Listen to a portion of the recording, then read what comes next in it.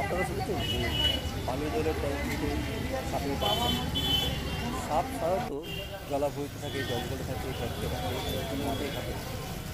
কিন্তু একটি সাপ দেগরা ব্লকের আর জলের ট্যাপের ফল সাপের বাচ্চা তারই এলাকায় শুরু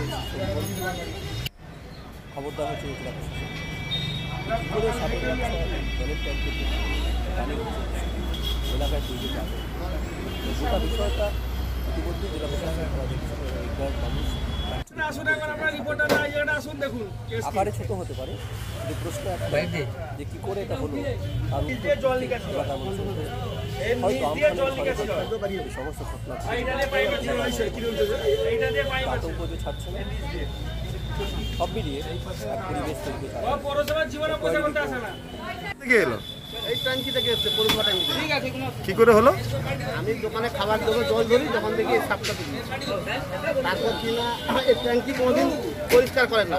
আমার নিজেরা পয়সা খরচা করে ট্যাঙ্কি পরিষ্কার করি। আর এখানে আবর্জনা কোনোদিন পরিষ্কার হয় না।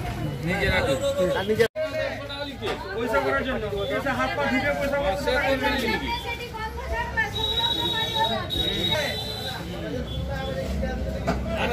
টাকা দেখো সামনে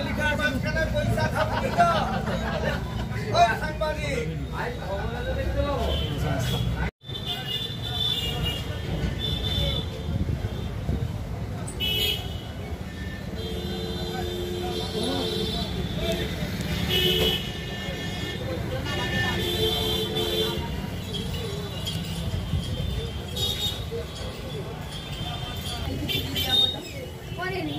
জলটা